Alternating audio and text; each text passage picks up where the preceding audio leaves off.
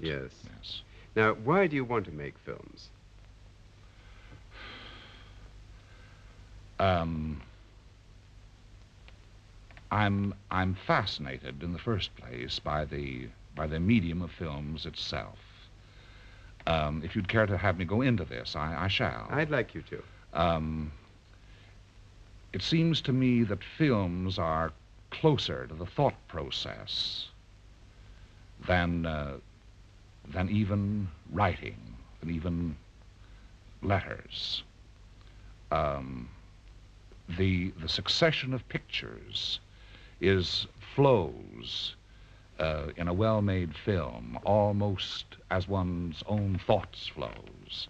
I've often thought that it was as though the the camera was behind one's eyes, and and uh, uh, one's own eyes projected onto the screen what one wished to see.